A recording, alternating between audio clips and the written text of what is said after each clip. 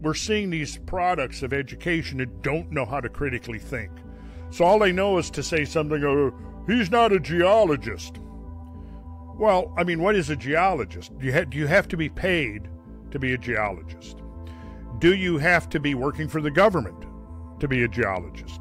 Or do you have to be working for industry, let's say the fossil fuel industry, who are probably the two biggest employers of geologists? Do you have to be working for those organizations to be considered a geologist, right? Well, maybe, if that's your definition.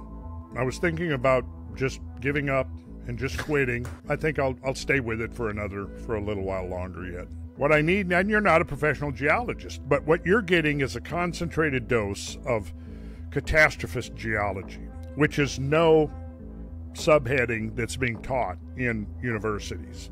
So I've had to pretty much go and do my own work to pull all of this together.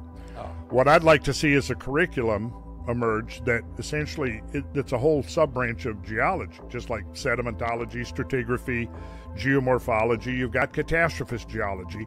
We were locked into this straitjacket of strict uniformitarian thinking.